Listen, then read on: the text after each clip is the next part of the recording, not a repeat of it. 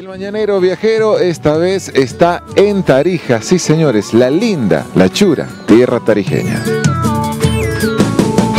Hicimos el recorrido de la ruta del vino y del Singani de altura junto a una caravana organizada por el Viceministerio de Turismo. Y lo primero que tuvimos fue una cálida recepción al mejor estilo chapaco en pleno aeropuerto. Inmediatamente nos trasladamos hasta el Valle de la Concepción, cuna de las bodegas más importantes del país. Los vinos y los engaños de altura han llegado a posicionarse en el, nivel mundial de manera muy, muy bien aceptada. Eh, y ahora la tarea es fusionarlo esto con el turismo. Llegamos al municipio de Uriondo, un lugar apacible y pintoresco, productor de uva y un destino turístico donde está Casa Vieja, una pequeña bodega artesanal donde lo mejor son sus variedades de vinos pateros. No utilizamos ninguna máquinas moledoras, eh, todo artesanalmente, ¿no? Como se dice, pisando con los pies, ¿no? Por eso se denomina vino patero. A solo pasos llegamos al hostal Valle Divino, que cuenta con un museo, una bodega, hospedaje y es el único lugar en el mundo donde se toma el vino por metros. La gente que viene de Europa, de otros lugares, nunca ha degustado vino por metros. Pero de lo pequeño y pintoresco pasamos a lo grande.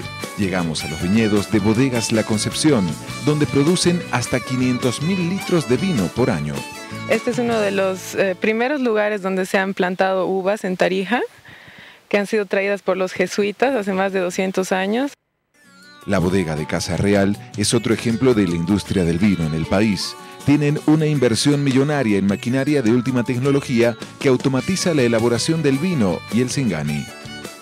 En esta sala nosotros tenemos seis alambiques de destilación, todos traídos desde Francia, de la tierra del coñac, son de cobre. Tarija es un departamento con un gran potencial turístico. Su geografía, su gente, el vino y sus viñedos atraen a miles de visitantes por año. Sabemos muchísimo de, la existencia de un mercado interesantísimo en términos de especialistas de vino, eh, de, la industria vitivinícola. Y la idea es atraerlos, traerlos acá, a Tarija. El turismo es una industria sin chimenea que genera más de mil millones de dólares por año en el país. Y si bien Tarija aún no es el destino más codiciado, están trabajando fuertemente en ello. Ah, qué lindo, qué lindo de verdad, Tarija.